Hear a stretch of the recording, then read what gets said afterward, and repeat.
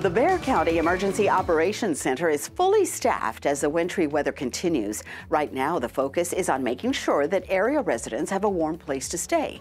The city today opened four warming centers, which will remain operational until noon Friday, and several nonprofits also are making emergency shelters available.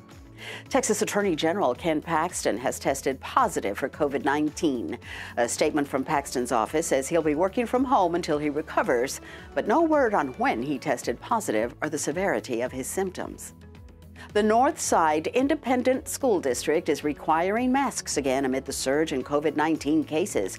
Superintendent Brian Woods says they're returning to a temporary indoor mask mandate out of concerns for the safety of students and staff. He says they must use this tool given the current disruption to in person learning.